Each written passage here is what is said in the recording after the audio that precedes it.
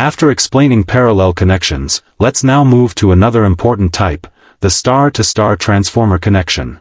In this connection, both the primary and secondary windings are arranged in star. It is the simplest form, giving no phase shift between input and output.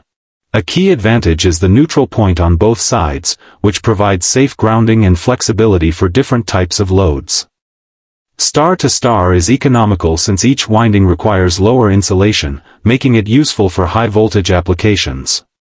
However, it suffers from poor performance under unbalanced load and third harmonic distortion unless the neutral is solidly grounded or a tertiary delta winding is added. For example, it is often applied in rural power distribution systems where loads are generally balanced and demand is moderate. This is the star-to-star -star transformer connection, simple yet limited. Like, share, and subscribe for part 7.